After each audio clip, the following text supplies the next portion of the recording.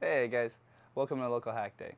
So I'm Oliver Belanger. I graduated from Fordham in May, and I'm here to talk to you about ideation. So first we have to think about what an idea is. And an idea is a basic unit of thought that can be used to communicate or to do something, an actionable thought, hopefully. Um, and we're going to break up ideas into two categories to start. We have instantaneous ideas, and these ideas are ideas that hit you in the moment. They hit you like a brick. Uh, they're eureka moments. They're light bulbs above your head, which would be great if there was a light bulb above my head right now, but there isn't. Um, and they always seem brilliant. They generally seem very brilliant in the moment, and then you think about them for a little while and you realize they're not they're not that great. But if you do have an instantaneous idea, uh, definitely write it down because having a list of those can be uh, really helpful sometimes. So the other type of idea, the other category is generated ideas. And we're going to focus on those because, well, you're here. so generated ideas are about perseverance, not about brilliance. Um, they're about grinding and about thinking things through um, and asking the right questions. They're not about being very smart. They're not about being brilliant, having insight. They're not about anything special. There's anyone can come up with a generated idea that's good because they're about uh, asking a lot of questions and the right ones. So there's a lot of techniques that can be used to make, get an idea, to generate an idea. And uh, the classical one, or the one that's most well known, um, is something called brainstorming, which is something you've probably heard of um, at this point. Uh, it's a pretty commonly used phrase. Um, it's also a documented method of uh, thinking and, and talking and discussing ideas, uh, which you can look up on Wikipedia or on Google or wherever, um, Bing if you prefer. Um, and we're not going to talk about that. We're going to talk about what I like to use, what I like to think about, um, which is something I like to call distillation uh, as a technique. And the whole idea behind this is taking kind of a large soup of possibilities and possible ideas and distilling them into like a small vial of that's like one good idea. Um, and it's a process that takes a little bit of time. So when you're thinking of an idea, the important part is to think about why you're trying to come up with an idea. Um, especially in this context, there's a reason for it. So you have to look at your situation. You have to look at what you have, um, why you want the idea, what you need, and the constraints that prevent you from doing particular things. So the first um, thing to think about is your resources. Uh, this can be your skills, your knowledge, uh, likes, dislikes, personality, what have you. They're just things that you currently have and that can be used in some way, shape, or form. Another component is the goal. Um, this is, you can think of the goal state or what you want, um, and that depends. Uh, for, for example, if you're coming up with an idea to solve a particular problem, then the goal is to solve the problem. Um, the next component is constraint, and this is things that eliminate large swaths of possible ideas. Um, the best way to think about that is, for example, well, a hackathon. Uh, and this is going to transition into our the context, thinking of these things in the context of hackathons. But for example, in hackathons, the context or the constraint is your time limit. That's a huge one, right? You only have 24 hours in some cases. Uh, for local hack day, you have 12 um, to come up with, some, with something, right? Um, that short time span eliminates a lot of possible ideas. So it reduces the range of possibility to a much smaller range which in sounds unfortunate and sounds limiting, but actually in a lot of ways can be really liberating because it eliminates the amount of things you have to think about. So in the hackathon context, what are these things, right? Um, resources, for example, in a hackathon context, is going to be what your team has available. Um, so what are the skills of each member of your team? What does each member of your team know? What does what motivates each member of your team? What does everyone care about on your team? Um, those are going to be your resources, the things that you have, the things that you can use. Um, when you're thinking about resources, it's also uh, nice to not uh, pigeonhole them into one particular thing, right? So, for example, this pen um, is a pen and you can use it to write things, but at the same time, it's also a cylindrical object with a pointy end. And if you think of it as just a pen, then you can only think of one use or function for it, which would be to write with. But if you think of it as a cylindrical uh, object with a pointy end, you can think of many other uses for it uh, much easier. This is because of something called object object fixedness, which is a principle of psychology where people tend to fixate objects on their primary uses as opposed to what they possibly could be used for. Then, in the hackathon context, you have to think about what your goals are, right? So, why are you coming up with an idea at this hackathon? Do you want to win? Do you want to learn something new? Do you want to build something cool? Do you want to build something you'll have a lot of fun building? Um, do you want to just try a new like piece of hardware? Do you want to try hardware for the first time at all? Figure out what your goal is with your idea, um, and then make sure that the whole team has the same goal because that's going to be really important. Um, that's a huge friction point uh, as your ideas develop and as your team moves forward this is a huge friction point if people have different goals in mind for everything. The last part is your constraints. And as we spoke earlier, the constraints in hackathons, generally, the biggest one is time. Um, at Local Hack Day, you have 12 hours, but there's other constraints as well. You don't have, if you're doing a hardware hack, which probably most of you aren't, but if you are, you don't have unlimited uh, transistors. You don't have unlimited pieces of hardware. If you're building software, uh, you don't have unlimited server space. Not that you're going to run out of server hours or anything like that. Um, so that's in the hackathon context, and these are important things to remember when you're uh, thinking about ideas. So now for the actual ideation step, or the step of actually thinking about ideas, you have to generally pick a starting point, um, and this is why it's a distillation process you pick a starting point and then you ask yourself questions about that starting point.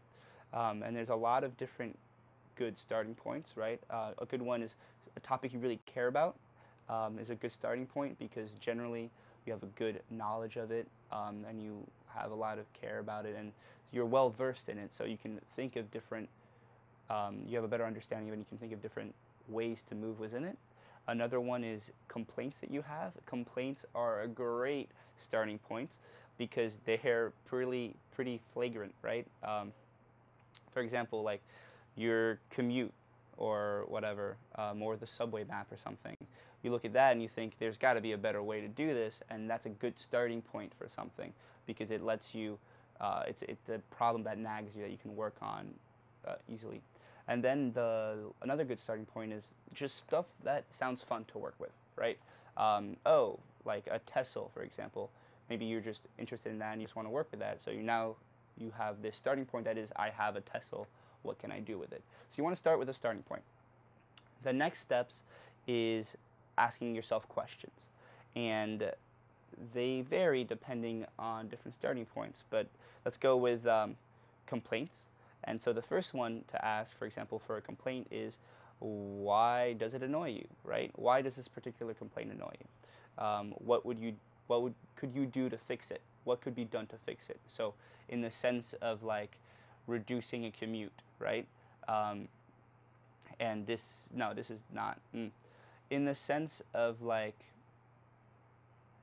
making food at hackathons, for example, faster. Um, it's annoying because you sit there in line waiting for your food, but at the same time, what can you do to fix it? Well, you could have a better way to disperse the food, right? Okay, so that's a way to start thinking. Um, how do you align that with your goal as another aspect? So, like when you're thinking, you now have a complaint or a starting point. You've thought about why it annoys you. You have thought about ideas of how to fix it. Then you align those ideas of how to fix it with um, your goal Uh, so what you want out of this event, out of the hackathon in this particular case, right? Uh, and then you try to take that filtering step, and then the next one is how do you make it reasonable? Um, how do you make it reasonable within the constraints that are allowed, right? So if you're making, if you have a software idea, you still have to make it doable in 12 hours. Otherwise, it's not going to work. So that was a lot of theory. Um, I'm going to call my friend Carl, and we're going to do this. What, what's the topic you care about? Uh, travel, Travel? Yeah. Okay, like going to different places, adventuring and stuff. cool. And um, what's, uh, what prevents you from adventuring in New York City? Uh, working. That's Working, one, of the yeah. big things. Uh, commuting to go home because I live in New Jersey. Right? So that's a lot of time taken away. So I like to be able to do things in a small enough time, but be able to see as much as possible. Okay, cool. Cool. That's really cool. Um, so, what what prevents you from like, you're? It sounds like you're looking for like pocket adventures, like like a 20 minute adventure, like a 30 minute adventure, right? That's Yeah. kind of like sounds what sounds like what you want. Um, what prevents you from like doing that now? Uh, well, being that I'm not a native New Yorker, I don't know where the things are that I should be going to see. Okay. Because like everybody always goes to like the Statue of Liberty or the Empire State Building, all those usual places. But like I don't enjoy going to the usual places all the time. I like going to like discover things that people don't normally see off the beaten track. Okay, cool. So that sounds like um, what's preventing you from having these 20, 30 minute adventures is a lack of information. Yeah. Cool, cool. So um, what what can you? How would you normally go about um, getting that kind of information?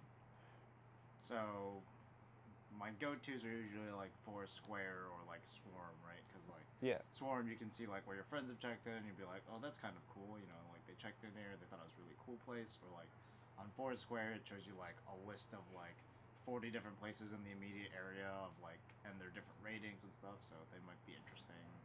Cool, cool, cool. And so, uh, so it sounds like uh, you're using these services that are sourcing information from your friends, kind of, right? Yeah. Okay. So, um, do you ever just like ask your friends for like, oh, I'm gonna be in this area. Is it like, is there anything interesting and cool, or Uh, I guess not really, just because I don't really know how much they've actually like explored, explored? that area. Yeah. Cool. So, what about like um, a service that like, I don't know, you drop a pin somewhere, and you, yeah, drop a pin somewhere, and then like push it to Facebook or something, and then you tag people that you think would kn- have some information about that area, and they can just like um, either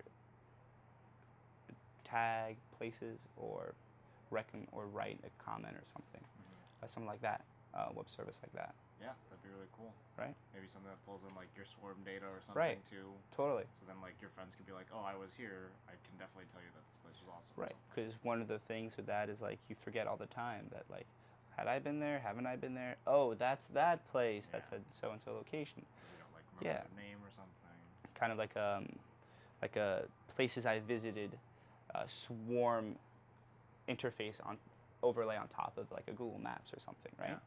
Um, that's pretty cool actually.